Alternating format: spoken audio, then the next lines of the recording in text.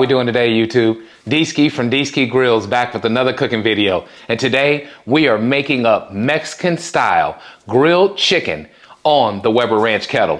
Folks, I'm so excited. Can't wait to show you this awesome cook. We'll just be using a few ingredients and this will be a two-day process. So this is day one. Day one is 100% the marinade process. So let me show you the stars of the show and then we can move forward with this, okay? So we are starting off with an awesome marinade, which is Chef Merito's, okay? This says chicken marinade and this is for this awesome rich Mexican style flavor, okay? So what we're gonna do, we have some legs, we have wings, and we have one pack of thighs, okay?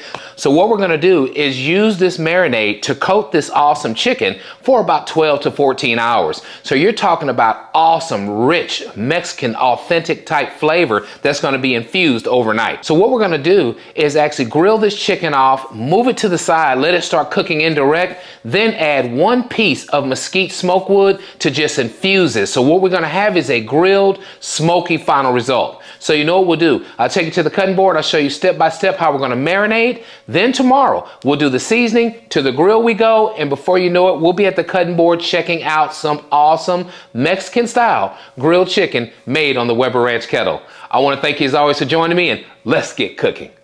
Okay folks, so we're at the cutting board and what we're gonna do now is very easy. All we're gonna do is open up our chicken pieces, get them rinsed off and into the bag is where they're gonna go, okay? This will be our marinade bag. Now what I have is two one gallon bag Ziplocs.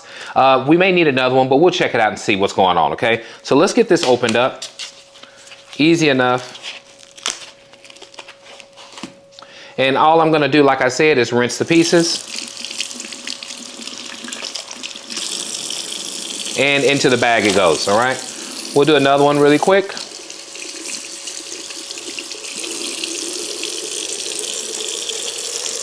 Okay, so we'll do this with all the pieces and get back together in just a second. See you in a bit. Okay, folks, so we're back. So we have two bags of chicken. There is about 12 to 13 pieces in each bag. So now it's time for the marinating process. So let's go ahead and get this going real quick. What we want to do is first just give this a shake because what we want is these bags pretty much covered with the marinade. I'll move them around a few times before I go to sleep tonight, but make sure that they're kind of uh, covered the whole time so they can just keep on soaking in this awesome flavor, okay? So we'll shake it first. Now, I bought this off Amazon. I heard about it from a friend of mine that it really, really imparts an awesome Mexican style flavor, so I had to give it a shot. This is a 25 ounce bottle. I'm hoping it's enough for what we're trying to do today. All right, so we'll just start by pouring in bag one. So let's pour in bag two. Very good. Okay, yeah, and you can just see all the spices and everything in here. So yeah, it's definitely full of flavor. All right, let's go back in this bag and we will finish up here. Okay, so we're gonna use it all. That's fine, no problem there. All right, let's get this baby sealed up.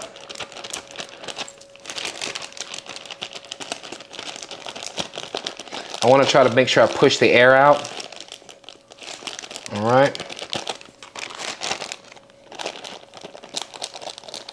Okay, and that'll do it for the first bag. All right, and let's do the same thing to the second bag. Now I'm gonna put this in a foil pan and let it sit like that overnight. Um, definitely, we have enough here. So I'm just kind of coating right now to see what it looks like. And my goodness, this is gonna be great. I can tell already. Okay, folks, so this is it. This is part one of our marinating process for our Mexican grilled chicken. Tomorrow, we will get into step two, and that'll be getting the marinade out and then seasoning with the chicken seasoning, okay? So can't wait to get to step two. I'll see you guys in the morning. Thanks for hanging in there with me. Have a good evening. Okay, folks, we are back, and it is day two of our Mexican-styled grilled chicken made on the Weber Ranch kettle. So check it out, folks. We're about 13 hours into this process so far. Our chicken has been marinated in that awesome Chef Merito's uh, marinade, right? All night long. And here's what we have, folks. We have chicken that is now infused with all kinds of Mexican spices. So our next step is to remove the chicken from this bag right now, add it to this tray, and we're gonna go ahead and start the seasoning process, okay? So if you remember what I told you, we're gonna use Chef Merito's chicken seasoning. So let's get started on that really quick. Uh, what I'll do is I'll take a few pieces out, we'll put it here and start seasoning, then I'll take the rest off the frame, and then we'll go outside and check out the grill setup. So let's get going. I'm really excited to see what kind of flavor this marinade imparts in the chicken. So this is gonna be a great, great time for us to figure this out together. All right, so we'll get this here and get it opened up. All right, and then I'm just gonna bring my tray over here and we're just gonna remove pieces and put them on the tray. I told you yesterday that we got around 13 or 14 pieces of chicken in each bag, so this thing's gonna fill up pretty quick. But you can see through and through, okay? So I'm really excited about it. I don't even know how much seasoning to use because I'm almost concerned about over seasoning the way this is looking, you know? Okay, so let's just get a few more pieces here and then I'll just show you how we're gonna season. All right, so that's just a start right there. All right, folks, so we're gonna open up our dry seasoning and all we wanna do is just hit the top. Beautiful color. Beautiful color. We wanna hit the top and we wanna hit the bottom with this seasoning. It smells amazing. You can smell the cumin in here. You know it's full of that, okay? Which is a staple spice of Mexican type cuisine. So we'll pat and flip on all of these and do the exact same thing to the other side. Okay? This is how we're gonna do all of our pieces. And next step will be us meeting outside, checking out that grill setup. Okay, folks, and we'll just pat again. All right, so I just wanted to show you that. That's how we're gonna do it with all of them. I'll see you guys outside when it's time to check out the grill setup. Okay, folks, so we're outside now and we are about to cook on the largest kettle in the world. That is the Weber Ranch kettle. So what we're gonna do, folks, is set up our grill. We're gonna use Fogo Premium lump charcoal today. So not the super lump that's in the yellow bag, but the premium that's in the black bag, okay? So here we are.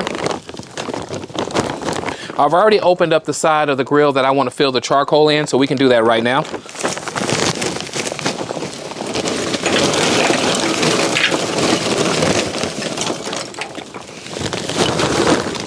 Okay, I'll spread that out a little. And we'll get a little bit more in there.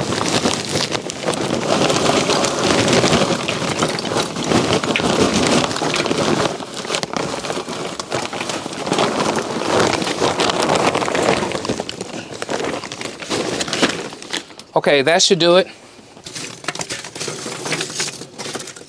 Okay, folks, so we'll get this lit and I'll use the grill gun, okay? So I'll bring the grill gun out. We'll get this fired up and the idea is to grill our pieces, okay? So we're gonna go ahead and go right on top of the direct fire with all of our pieces, maybe a minute or two on each side, okay? So we're gonna go ahead and get that charcoal flavor just put off into that chicken.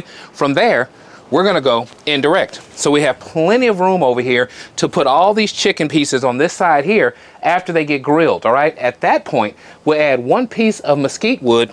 So we'll let that mesquite smoke just flow through that chicken until we reach 165 degrees on the white meat, 175 on the dark. All right, I'm gonna get this thing fired up. We can listen to some tunes together.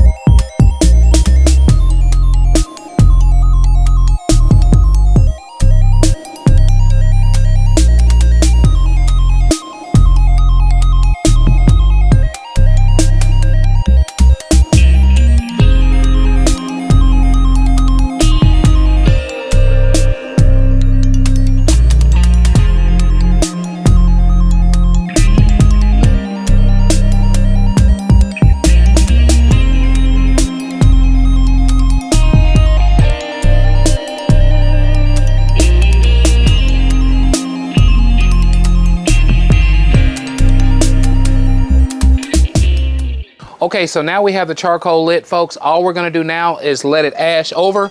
Then it'll be time to bring out this Mexican style chicken to put on the grill. I'll see you guys in a second. Okay, folks, we are back. As you can see, the grill is hot. This Fogo lump charcoal is showing out, okay? It is fired up and it is ready now for the Mexican style chicken. So look at this beautiful chicken and understand that we are now at my favorite part of the video and that's let's get cooking. So here we go, folks. We're gonna go directly onto the hot coals and then we're just gonna start searing these pieces off, okay?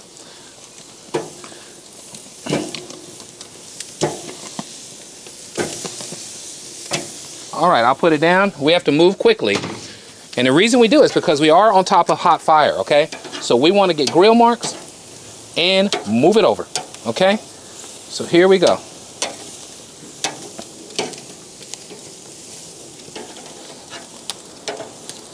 The good thing about Fogo Lump Charcoal, it is perfect for searing. It doesn't take long to get what you're trying to get done, and that's awesome grilled flavor, and then move it to the side. Oh yeah, look at that. It's just beautiful, just beautiful. Okay, our legs are done already. Look at that, beautiful char. Indirect we go.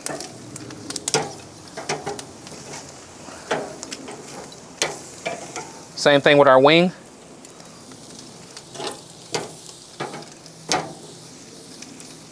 And we'll continue on just like this, folks. We're just gonna move pieces over, put them right on that direct fire to get that char and get that sear mark, then to the indirect side it goes.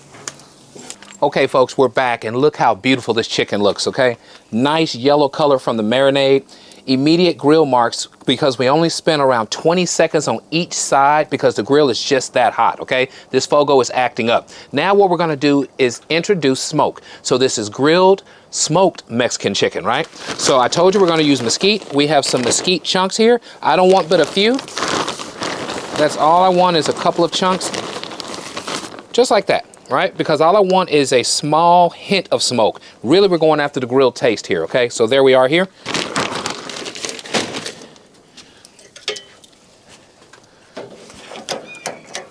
So we're gonna get this baby opened up, drop in our wood. Then it's time to shut down the grill and let it cook internally. All right, so that's where we're at, folks. All kind of excited about this cook. I'll see you guys in about maybe 30 minutes. We can check in and see how it's going along, but it shouldn't take any more than about an hour and a half, maybe. We definitely want to make sure everything is cooked thoroughly, okay? Thanks for hanging in there with me. Awesome cook. It is going well. See you in a bit. Okay, folks, we're back. We are only around 30 minutes into the indirect portion of this cook. I want you to see how the chicken is coming along. I'm thinking with that mesquite wood, it's starting to brown up real nicely. We should have a beautiful color that's starting to happen. Now it's going to all be about getting those internal temps. So let's check it out. Oh, yeah. Oh, yeah just like I thought. Okay, so our Fogo Lump Charcoal is doing its thing over here. We have at least an hour, hour and a half of cook time left with the charcoal we have here. But you can see the browning that we have. That's from that mesquite wood. That's from those awesome hot temps that's coming from this charcoal, all right? I'm gonna shut it back down, but we will meet next time at the cutting board and show you the final product of this awesome Mexican smoked and grilled chicken made on the Weber Ranch kettle. Very excited about it. I'll get back with you guys at the cutting board. Okay, folks, we are back, and I am so excited to show you the final product of our Mexican-style grilled chicken made on the Weber Ranch kettle. Folks, let's talk about what we did before we unveil this goodness. We started off, folks, yesterday. We used the Chef Merito's marinade, and we marinated around 25 pieces of chicken for 13 hours in the refrigerator, okay? We got up today 13 hours later, and what did we do? We used Chef Merito's again, the chicken seasoning. And all we did, folks, is we pulled our chicken out of that marinade and hit it with that dry rub, okay? We hit it on the top and the bottom side of each piece of chicken. After that, folks, we went outside and fired up that Weber Ranch kettle. We used premium Fogo lump charcoal, got that baby up to temperature, we got that baby to ash over, and you know what happened next, folks. We started grilling our chicken about a minute, maybe less on each side just to get those grill marks. Then we went indirect. After we went indirect, we hit that baby with mesquite chunks, two mesquite chunks to add grilled and smoke flavor to this awesome Mexican style chicken.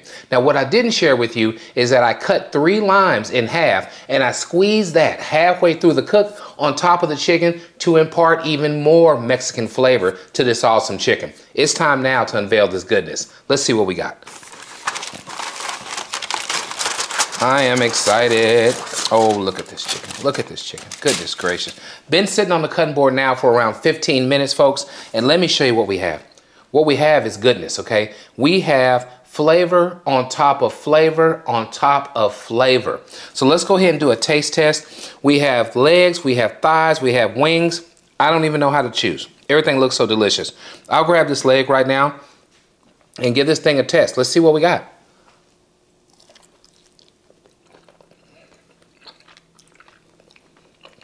Mm. Okay. Let me tell you now, Chef Merito's is the way to go. Marinate your chicken overnight with Chef Merito's. Come back with your favorite seasoning and go ahead and let people sit back and say, what the heck is going on? This is the best chicken I have ever had. If you like what we're doing, please subscribe to my channel. Let others know what Dski Grillz is up to. And as always, at Dski Grillz, grilling is not a pastime. It's a passion. One turnaround, maybe two. This is chicken done right. Catch you guys on the next one.